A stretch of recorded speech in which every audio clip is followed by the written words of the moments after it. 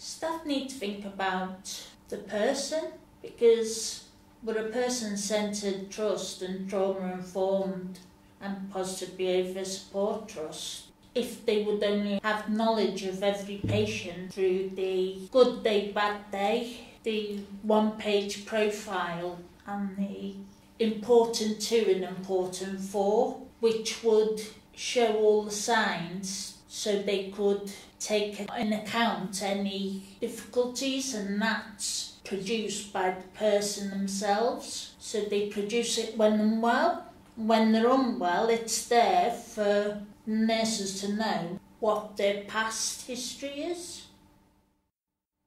I was sectioned in Bowmere Hospital. I had scalded the back of my hand with hot water from the kettle and I wouldn't allow anyone to see it because of my illness. So when I was in with the doctor, she was asking me to look at my hand and I kept saying no. Eventually she got to look at my hand which was like a mound which was a blister and I wanted to pick it and the doctor did repeat to me a number of times that she couldn't allow me to pick the blister. One because of it being open wound and it being infectious airborne.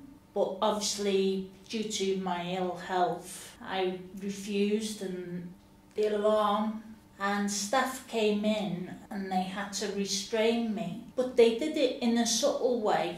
When I was restrained, it was explained why.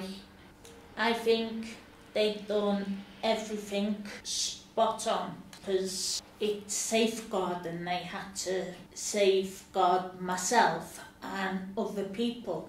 And they had to bandage it and although I was fighting, they still respected me. And once my hand was bandaged, then that was it with the doctor.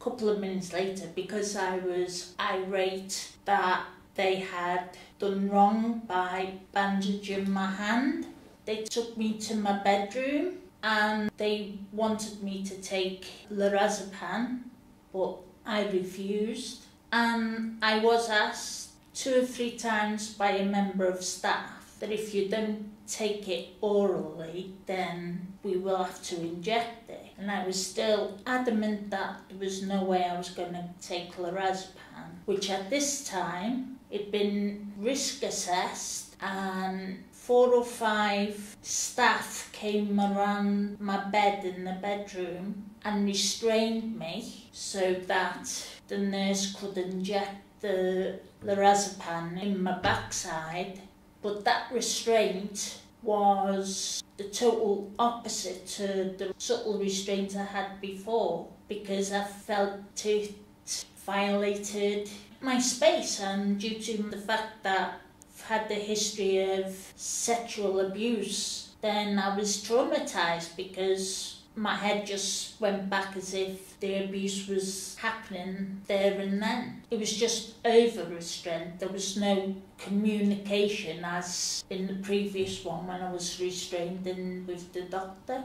There was too many people restraining me. I was only told that if I didn't take my lorazepam then I'd have to have an injection. There was no explanation for the three, four staff that was holding me down while I was being injected, which totally violated what I thought was my rights and is an area that needs to be looked at because of re-traumatization. It wasn't about me, it was about them administering the injection